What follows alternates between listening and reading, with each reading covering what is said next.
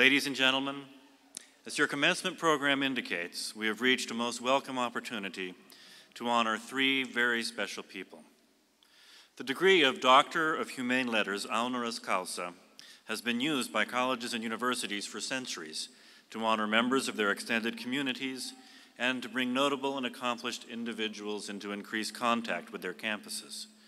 The tradition of the honorary degree is almost as old as academia itself, dating back to the Middle Ages when Oxford University awarded degrees for conspicuous service to the Church.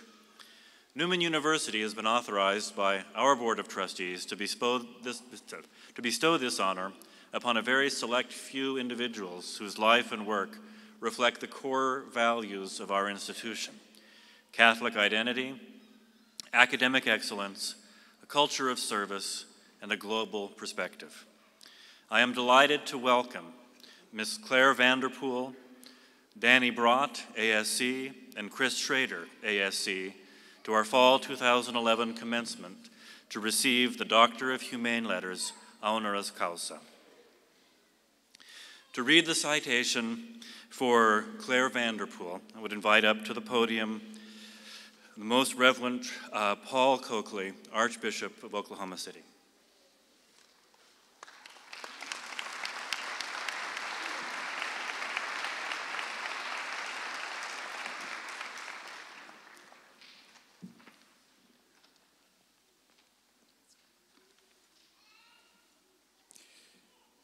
Clare, we proudly honor you today for your work guiding and educating young people and for your achievement as an author.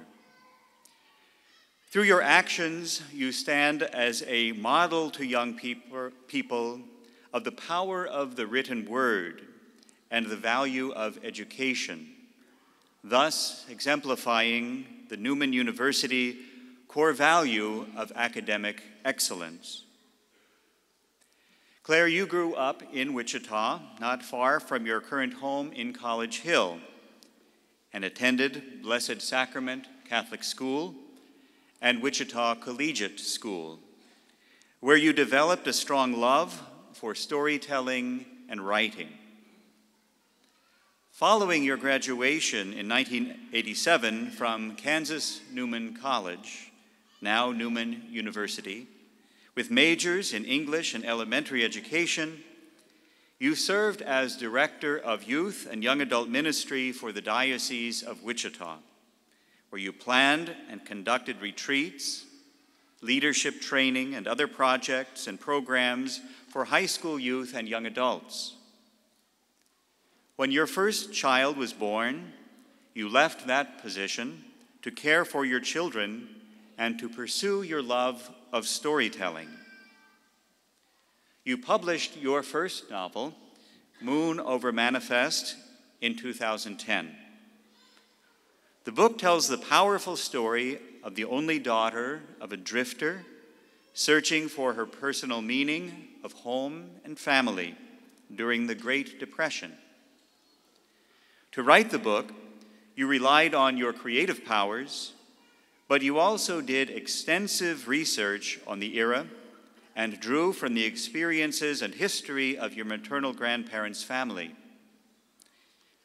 In January 2011, you were named the winner of the prestigious Newbery Medal, which is bestowed annually by the American Library Association to recognize the best contribution to American children's literature. You are the first Kansas author to receive this honor. You received the Newbery Medal in June 2011 at the annual meeting of the American Library Association in New Orleans, Louisiana, where thousands were in attendance. By then, Moon Over Manifest had become a bestseller. Today, when not working on a new book or spending time with your husband Mark and your children Luke, Paul, Grace, and Lucy. You are a sought after speaker at schools, libraries, and conferences around the country. In spring 2012, the Newman University Alumni Association will recognize your achievement as a children's author by awarding you the Leon A. McNeil Distinguished Alumni Award in Arts and Humanities.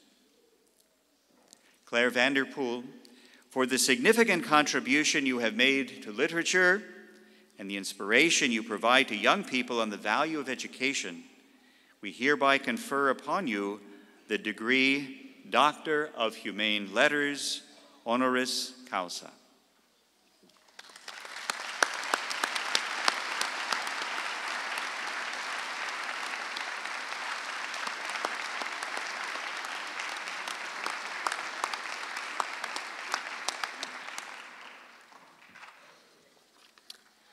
Thank you. I'm honored, humbled, and so grateful to receive this honorary degree.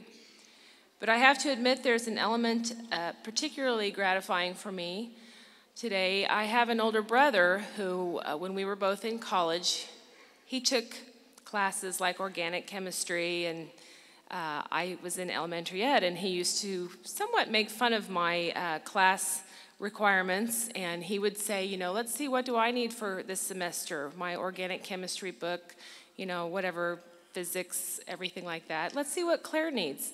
Chalk crayons. Well that same older brother has been working on a couple of doctoral degrees for years. Many many years. And upon the announcement of this honorary degree for me my older brother david the one not working on the degree, said, Hey, that's funny. You'll be getting a doctorate before Paul. Paul will be coming home for Christmas next week, and I'm sure I will get lots of mileage out of my new doctoral status. So uh, I thank you for that. It, it seems appropriate that this celebration is taking place during Advent, this time of waiting, anticipating, hoping, waiting for the Word made flesh. I started writing when my first child was born, and for many years before my book was published, I did just that wait, anticipate, hope. In October of 2010, when my oldest child was 16, Moon Over Manifest was published, and it was the realization of a lifelong dream. But then last January rolled around, and something happened that I had not hoped for, not anticipated, not even dreamed of. It won the Newbery Award. In my life experience, that seems to be the way God works. He sees what we have in mind and then often says, I have another idea. You really don't have to look too much farther than two people on this very stage, Archbishop Coakley and myself, who uh, both worked in the youth office for the Catholic Diocese for many years, doing all of the uh, crazy antics and icebreakers that are a staple of youth ministry. And here we are today in our New titles, new regalia. Who would have thought? this past year, following the announcement of the Newbery, has been filled with many wonderful opportunities. I'm not talking about opportunities of fame or fortune, but rather opportunities for great gratitude, humility, and insight. Gratitude for the way so many people here at Newman and in the larger community have expressed such genuine sentiments of congratulations and have embraced this experience with me. I've said it's like there's this big Newbery train and everyone feels free to jump on board. And I love that. Humility. When a little fourth grade friend of mine asked me if I would sign a book for him, I was thrilled. It was the first time I had been asked. Yes, I replied, I'll be happy to sign a book for you. To which he said, Great, can you make it the fourth Lemony Snicket? Which, if you're not familiar with Lemony Snicket, it's somebody else's book. So, as I say, great opportunities for humility and insight into the way grace works in our lives gradually, mysteriously, unexpectedly, lovingly. I'm always amazed at God's humor, His creativity, His element of surprise. Again, we don't have to look farther than the Word made flesh but I'm never surprised at his goodness. I think that's what resonates in my story, Moon Over Manifest. It has elements of humor, creativity, surprise, but I think what is recognized most is the underlying goodness of the people in the story and the place in which those people have their roots.